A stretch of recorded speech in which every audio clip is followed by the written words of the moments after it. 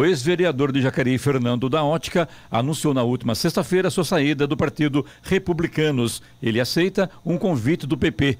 Bom dia, Fernando. Bom dia, Clemente. Bom dia, ouvintes da Rádio Jovem Pan. Clemente, eu quero iniciar minha fala dizendo que no Republicanos eu saí candidato a prefeito na cidade de Jacareí. Nós tivemos votação expressiva, elegemos dois vereadores na Câmara da cidade, é, tivemos o maior e melhor resultado do Vale do Paraíba, então eu saio do Republicanos de cabeça erguida com missão cumprida. E nessa linha eu recebi um convite do PP para que a gente pudesse organizar o partido aqui na cidade de Jacareí. Então quero inclusive aqui agradecer o presidente estadual do Progressista, o Maurício Neves, que inclusive vai estar na quinta-feira aqui conversando com o nosso grupo, vai estar aqui em Jacareí e dizer da minha felicidade de poder estar no PP, aonde inclusive o PP também está alinhado com as pautas do governo federal, é, principalmente na questão da geração de novos postos de trabalho. Isso é muito importante. Nós queremos incentivar o empreendedorismo para gerar mais postos de trabalho. E também as pessoas me perguntam, sabe, o, Clemente, se eu vou sair candidato, né? Eu não tenho problema nenhum em responder que eu tenho sim intenção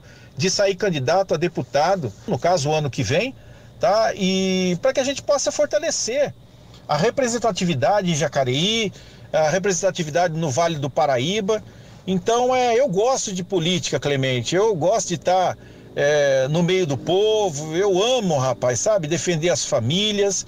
Então, esse é o nosso projeto. Eu quero também convidar as pessoas para se filiar no PP, aquelas pessoas que confiam no nosso trabalho, que venham, se junte a nós para que a gente possa construir um futuro melhor, não só para essa geração, mas para as futuras gerações.